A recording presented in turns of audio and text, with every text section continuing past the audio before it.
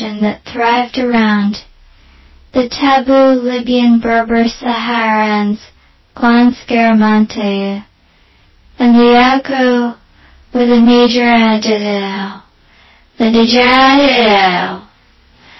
The um, Royals of the Jai group, with the falcon as their totem, ruled the Jaitum state. They engaged in activities such as herding goats, pottery, and trading, making Jado a prosperous kingdom. The Jado Plateau was a significant trading center on the trans-Sahara routes, but it faced challenges during the Arab invasions of northern Africa in the centuries. This led to the population chose different directions, with many migrating southwards along the Niger Bend. The Jado designated a UNESCO World Heritage Site in recognizing its cultural significance. Moving to the Wagadu Empire, founded by Mand, speaking Soninke people between C. It reached its peak around C. Rich in gold production, farming and salt trade taxes, the Wagadu Empire. The Empire faced a year war with the Almoravids. The conflict ended in the burning of the capital city, Kumbire. The Akan refugees arrived in the, the Niger Bend Empire, dominating the indigenous groups. They absorbed them into their matrilineal system, engaging in activities like pottery, livestock, and trading. The Tebis, after a brief stay on the Niger Bend, migrated further south to Gabon, de Ganja, while the Gons, Jia group and Garamantes took different routes. The Gons established their Bono state kingdom in, later branching out to various settlement areas, including the Akwamu state and O state and Oso, although Alalata collapsed in Mantis Sonic moved south and conquered the Bona and Akwamu states during this century. War refugees from the Ivory Coast settled in Gold Coast territory, establishing new states such as Akwamu Doma. The Akan speaker's origins are a subject of discussion with Dr. Joseph Boakye Danquah suggesting a Middle Eastern origin and a gradual south western journey to the kingdom of Jado.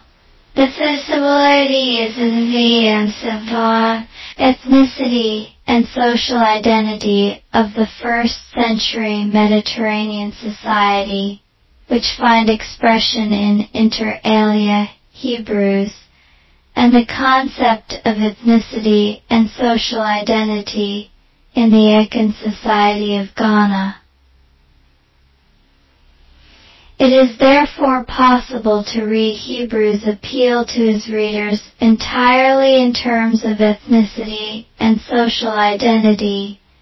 In addition, one should bear in mind the context in which the, uh, the peculiar Jew-Jewish and in which the believers had to be admonished to endure suffering in faithfulness to God and the Christian group. The Akan-speaking people, firmly rooted in the Niger Bend, cultivated a vibrant cultural tapestry that evolved in tandem with their matrilineal social structure. The decline of the once mighty Ghana Empire created a vacuum that the Akan refugees opportunistically filled, consolidating their dominance over the indigenous groups and establishing establishing pottery, pottery, pottery, Niger Bend decided to journey even further southward to Banda Ganja. The Gons The Gons witnessed the success of the Ganja state and were inspired to forge their path, giving birth to the Bono state and Osu, Alata, each contributing to the intricate mosaic of a series of Akan history. The Jai group in collaboration with remnants of Gons and Tebas chose a southwestern trajectory and found a new home in the Ivory Coast. They founded names of uh, Anais, collapse of the Ghana kingdom in, triggered the migration of displaced Soninke, the Mandes, who known for their fierce prowess, conquered the Bona and Akwamu states in the century. The resultant wave of refugees settled in the Gold Coast, establishing states such as Akwamu Doma and Zima. The refugees from the Akwamu state, resilient and determined, went on to carve out their territories, with Homa and Zaza emerging as distinct entities, into the Bono kingdom, Bono Manso ultimately founding states like Joben, Bekwai, Kumasi, and Kokofu. The eventual defeat of the nurturing Bono state in, by the Asante, Ashanti, state marked a significant turning point in the historical trajectory of the Akan speaking people. In the midst of these migrations and state formations, myths and legends like Isa, Dacta arose, immortalizing the Middle Eastern identity of the Akan people. Dato adds an additional layer of complexity to the historical narrative, hinting at a broader and more interconnected Akan heritage. This journey, spanning continents and centuries, is an integral part of the Akan people's identity, influencing the diverse and dynamic cultural landscape they celebrate today. The Akan speakers, having established themselves in the Niger Bend, began to flourish as they absorbed and dominated the indigenous groups developed a indigen, the cultural fabric of their communities.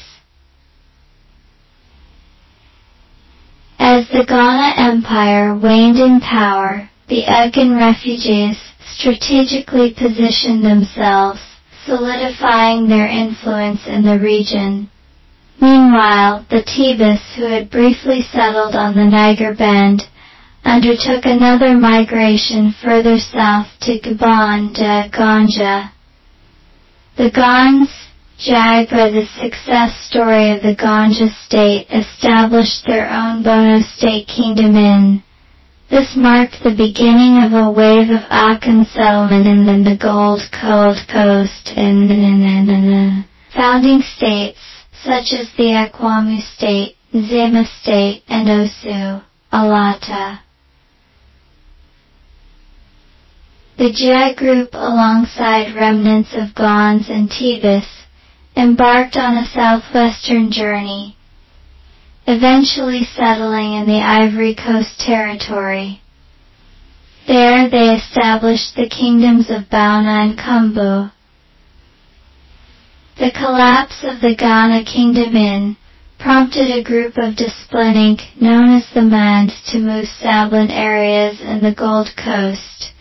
Refugees from the War raised in the Gold Coast to establish their own states, including Akwamu, Doma, and Zima under the leadership of Anor Azaman B. Thank you for watching up to this point. Watch out for the next video in our series. Once again, you are welcome to the ultimate voyage through the fabric of human existence Culture Scarps Trekking. Join us as we take you on an exciting journey through time, revealing the secrets of the cosmos and explore the mysterious ways of prehistoric. Guide, Guide.